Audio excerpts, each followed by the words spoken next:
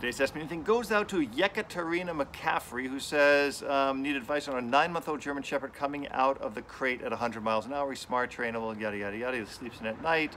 Um, every afternoon when we're home, he exercises wrestling with his brother. When we go home um, and he releases him despite command to sit, uh, he simply takes about five to eight minutes of absolute chaos. So, okay, so what's going on here is the dog is getting too excited to get out of the crate. And what generally happens is when a dog comes out of the crate, they get a reward. So they get to play, they're free, they get attention. Even if you're yelling at them, that is still attention. So um, watch my new crate training video that I put up just recently. It'll talk a lot about not getting excited when the dog gets out. And what I would do when the dog first comes out, I would make sure the dog sits calmly before the dog comes out and use the crate door as the tool to do that. So if the dog goes to bail out, pop him in the nose with the crate so that he'll sit back. It's not you, it's the crate stopping that behavior.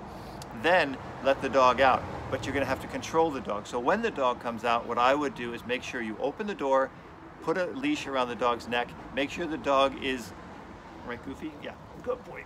Make sure that the dog, Goofy's very happy to get out of the crate. He's a prisoner. Um, make sure that when the dog comes out of the crate that the dog understands that he's going to have to do some basic obedience before he gets released. So that means he might need to uh, sit down or you might use a ton of treats for that to just try to get him uh, to like you like Goofy likes me. Goofy, lay down right here, right now. You, need to, you need to stop this.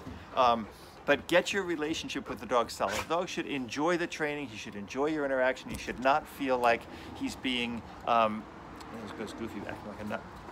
He's being disciplined. So all reward, all positive things happen in the crate. When the dog comes out of the crate, there's no interaction. So it should be very calm, and that's gonna be the best way to get him to calm down when he comes out of the crate. But first of all, right when he comes out of the crate, bop him in the nose with the door, make sure he waits. He has to wait till you release him, put him on a leash, maybe take him outside for a little pee or a little poo, and then let him play. Break it into steps. It's gonna be a lot easier for your dog. Got a question? Ask me anything.